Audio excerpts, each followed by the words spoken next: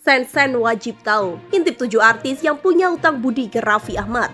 Dilansir dari suara.com, beberapa nama artis tanah air yang pernah dibantu Raffi Ahmad ramai dibicarakan seiring senternya reaksi Sen-sen diduga untuk Andri Taulani. Dalam status tersebut, Sen-sen diduga melontarkan sindiran seraya mengungkit-ungkit jasa majikannya Raffi Ahmad kepada Andri Taulani.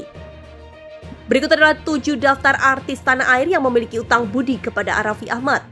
Yang pertama, Jessica Iskandar. Saat Jessica Iskandar kesulitan finansial akibat kasus penipuan, Raffi Ahmad membantu membayar cicilan dua rumah Jessica Iskandar hingga memberikan hadiah berupa uang senilai 500 juta. Pada Oktober 2024, Raffi Ahmad hendak membantu biaya persalinan anak ketiga Jessica Iskandar, akan tetapi Vincent Verhaag menolaknya. Yang kedua adalah Mpo Alpa. Pada Oktober 2024, Raffi Ahmad sempat menanggung biaya persalinan anak kembar Mo Alfa di RS Bunda Mentek. Kabarnya biaya persalinan tersebut tembus hingga ratusan juta rupiah. Yang ketiga, Marshanda.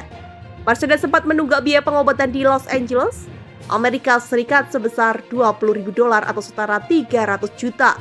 Raffi Ahmad memberikan bantuan kepada teman lamanya itu secara cuma-cuma.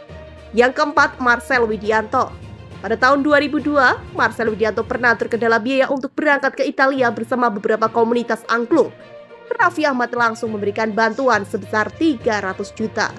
Yang kelima, Bedu. Ketika masih sepi job, Bedu pernah meminjam uang kepada Raffi Ahmad sebesar 5 juta. Akan tetapi sang Sultan Andara menolak uang tersebut dikembalikan. Yang keenam, Ucok Baba. Pada tahun 2021 lalu, Raffi Ahmad menghadiahi satu unit mobil untuk Ucok Baba. Mobil khusus penyandang difabel itu kabarnya dibanderol seharga 500 juta. Yang ketujuh Bapak Castello, saat terkendala finansial, Bapak Castello sempat mendapat pinjaman uang sebesar 80 juta dari Raffi Ahmad. Selain itu, dia juga pernah memperoleh hadiah umroh dari kakak Nisha Ahmad dan Sahnas Sadikoh itu.